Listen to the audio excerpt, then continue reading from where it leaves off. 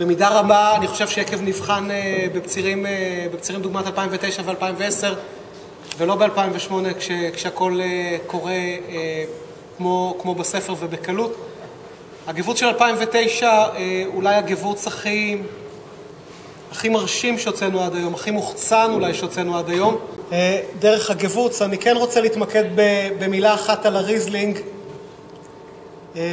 שזו השנה הראשונה שמיוצר או מבוקבק תחת התווית של סינגל ויניארד.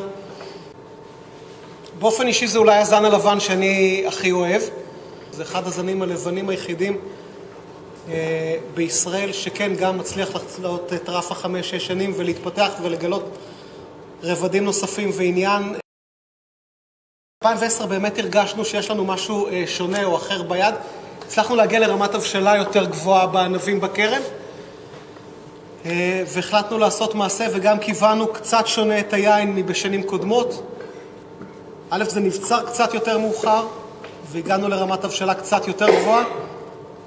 התסיסה נעצרה יותר מאוחר ואנחנו בסוכר שיעורי נמוך מאוד, אנחנו עם חמישה גרם פר ליטר. רמת החומצה במתכוון כוונה לרמה גבוהה יותר, מתוך כוונה לייצר משהו שהוא אה, רציני יותר. ואני תמיד בא מעמדה ניהולית פר סה.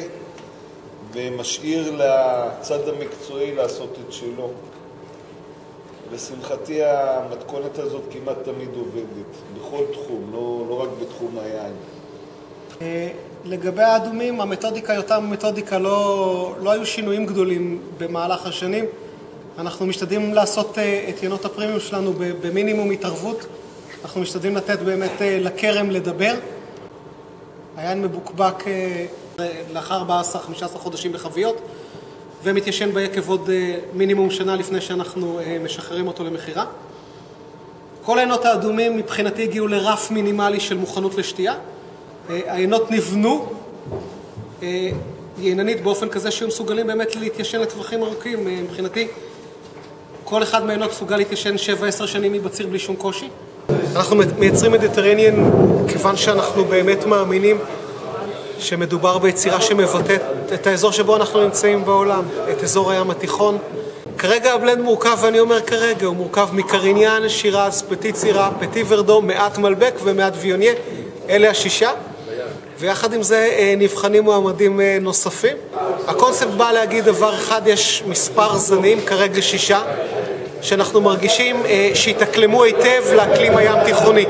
הם מדי שנה מגיעים לתוצאות מעניינות, מפתיעות, ולכן אה, חשבנו שיהיה נכון לייצר איזשהו מוצר שמשקף גם את הפילוסופיה שלנו כיקב, כיקב שמטמיע זנים מאזור שלו, אה, וגם ככזה שהוא חדשן, שהוא פורץ למקומות חדשים.